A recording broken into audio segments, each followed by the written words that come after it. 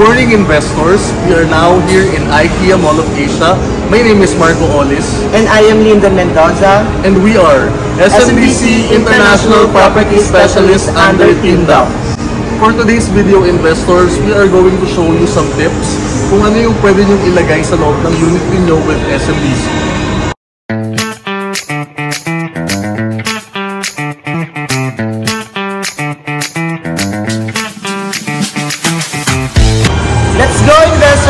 Join us!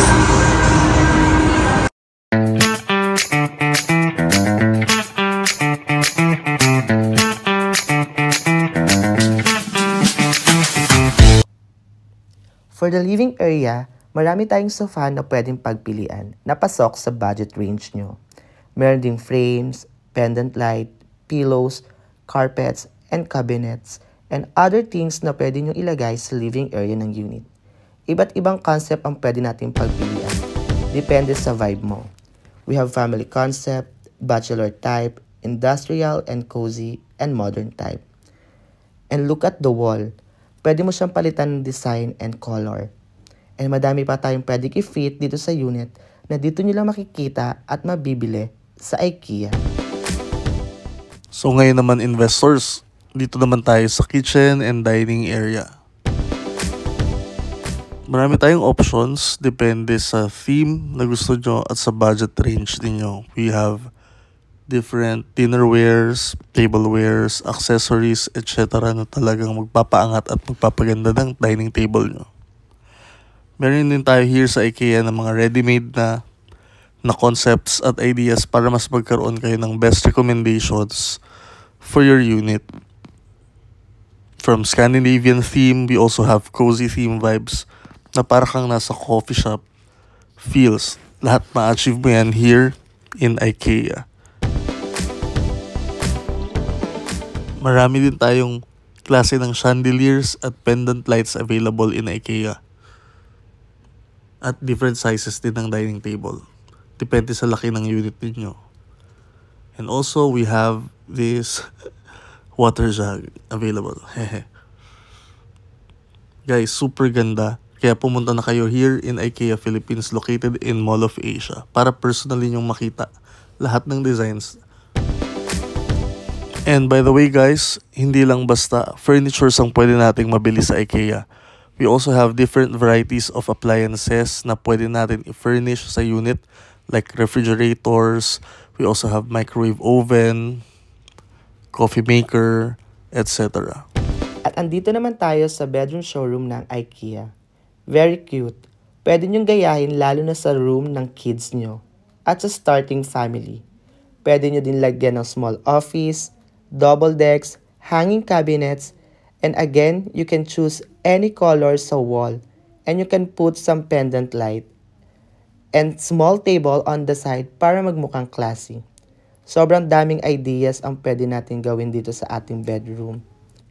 And guys, sobrang lambot talaga ng kama. As we enter to this room, they put wall clock, frames, and crib for your baby. And this one is very modern. Printed curtains, and they put mirror. Sobrang daming ideas. And you can make your dream bedroom into reality. Just visit IKEA showroom. So for the balcony naman, you can put up a coffee table and a chair. So imagine your balcony is facing amenities. Sobrang relaxing. Para kang nakabakasyon every day while having a coffee. And this is my favorite, the toilet and bath. Siyempre, dapat catchy and appealing. Kaya here's the design na pwede nating pagayahan. We can put glass enclosure, shower, heater, mirror, and small under cabinet na pwede natin lagyan ng used clothes. Hanging long bars na sabitan ng ating towels.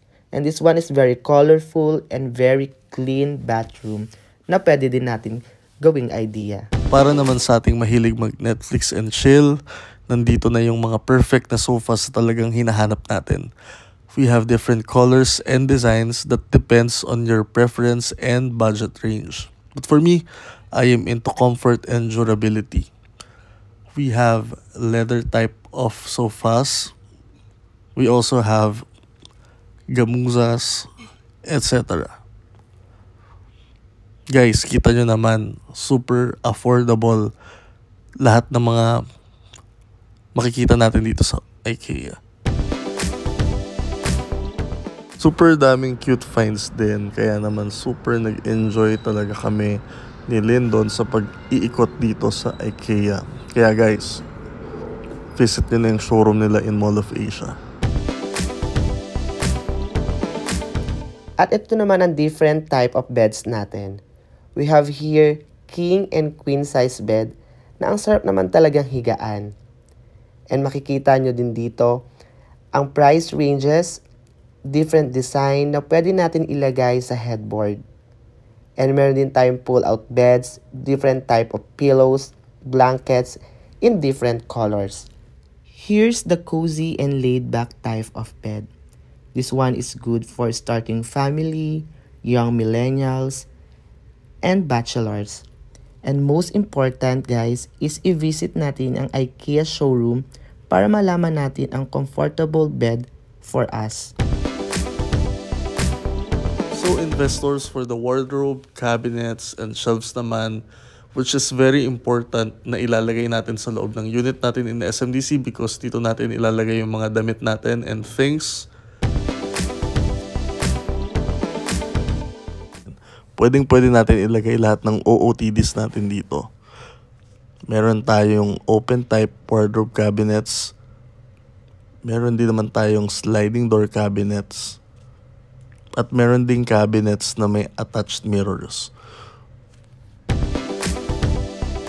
Napaka-cute, di ba? Perfect for our kids. For me, dito ko naganahan since I'm a minimalist mas prefer ko ang white Tudor cabinet na same sa color ng wall paint ng unit in SMDC para mas uniform at mas maganda sa mata. Ano sa tingin nyo investors? They have here small cabinets for shoes, meron ding vanity cabinets for toilet and bath, meron ding cabinet for kitchen, merong cabinets for laundry. Guys, everything is here in IKEA for a very reasonable price may magandang gamit ka na sa unit mo in SMDC. Marami rin sila ditong different types of cupboards na very elegant at maganda ang design. So all in all, I, I highly recommend this place lalo na kung ikaw yung type ng tao like me na gusto mo ng theme for your unit kasi mas mailalabas mo yung artistic side mo dito. At investors, they also have here different type of media cabinets, by the way. For our home entertainment system, look at that. Super ganda at super elegant. Pipili na lang kayo kung anong color or design ang gusto niyo.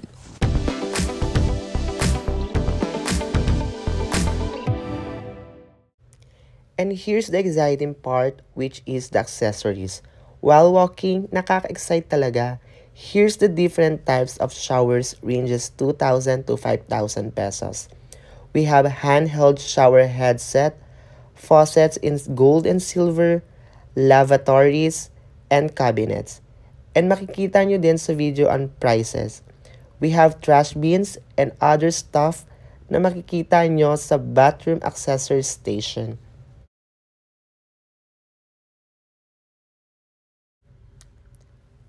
And we have a very native basket here na pwede natin lagyan ng towels, toiletries, lotions, shampoo, para well-organized ang ating bathroom stuffs.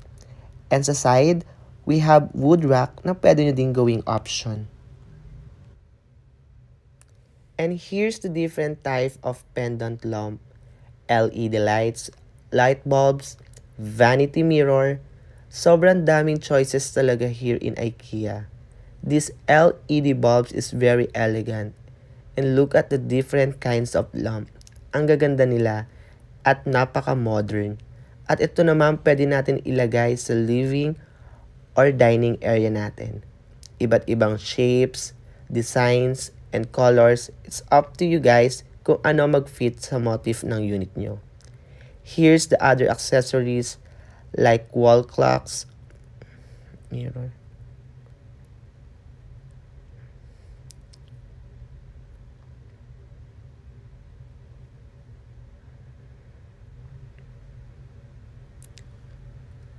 At ito naman ang other accessories like wall clocks, mirrors, plates, glass, utensils na makikita natin dito sa station na to at makikita din natin kung magkano sila.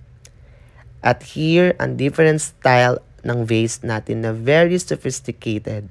Ang dami talaga natin pwedeng pagpilian dito sa IKEA. Pwede din kayo maglagay ng mga small plants na pwedeng mag-fit sa ating mga rooms, bathrooms, and other side ng ating unit. Kaya ano pang hinihintay nyo? Tara na! And that's it for today's video, investors. I hope marami kayong natutunan sa mga shinare namin na tips kung anong pwedeng i-furnish loob ng unit nyo with SMBC. By the way, my name is Marco Olis. And I'm Lyndon Mendoza and don't forget to like and subscribe na ipa-flash namin dito sa aming screen. Thank you, investors! Bye! Bye!